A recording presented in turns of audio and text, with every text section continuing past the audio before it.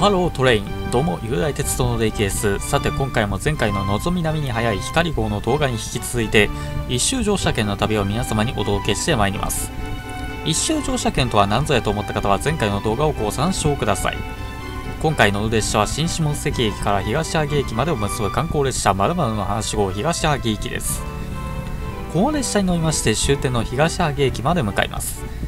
この〇〇の話は2017年から運行が開始されている観光列車で名前の由来は途中この列車が経由する萩、長門、下関のそれぞれの頭文字に加えてそれらの地域には日本と西洋を引き合わせた志士たちの歴史や文化海の幸や地酒など見て聞いて感じてみたい様々な話が行き着いているということからだそうです。単車にはキハ47型7000番台が使用されておりこれは2007年から2017年まで運行されていたまだまだの話の前身にあたる観光列車ミス潮祭で用いられていた車両を再度改造したものになります。ある観光列車が別の観光列車に再改造されるというパターンはクレセンの観光列車瀬戸内マリンビルとエトセトラに似ていますね。あれも確か種車脇は47型だったはずです。車内は1号車が和風のデザイン2号車が洋風のデザインとなっておりしかもどこか明治時代のハイカラな雰囲気を感じ取れるそんな車内となっております。座席の一部は車窓からの景色が見えやすいように海側に設置されているのが特徴的です。またこの列車では車内販売も行われており沿線各所のさまざまな品々が販売されております。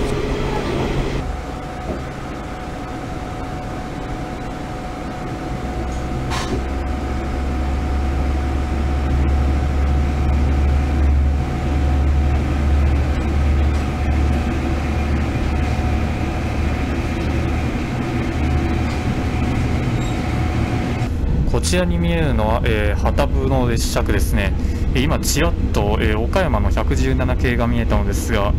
あれは今から解体される列車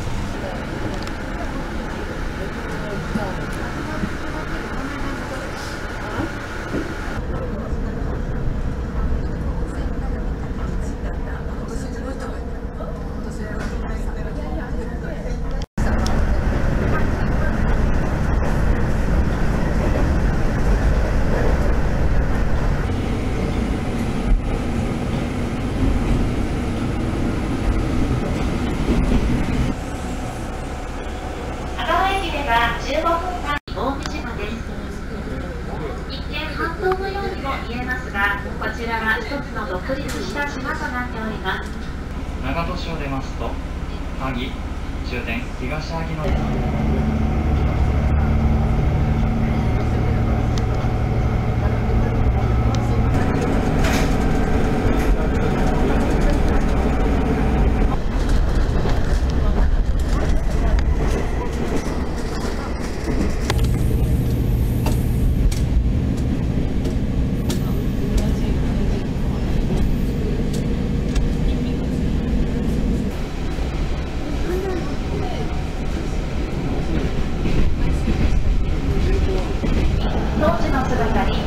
されました登録有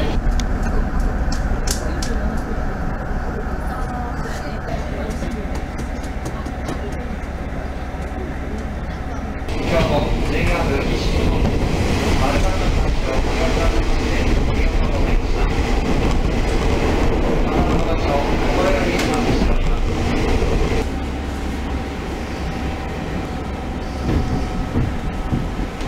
はいというわけでまだまだの話に揺られることおよそ3時間終点の東萩駅に到着しましたまだまだの話の車内の内装、個人的には明治時代のハイカラな雰囲気がして結構好きでしたね。まさに明治時代に活躍した志士の方々がいてこそのこの列車なんだなと感じ取ることができましたね。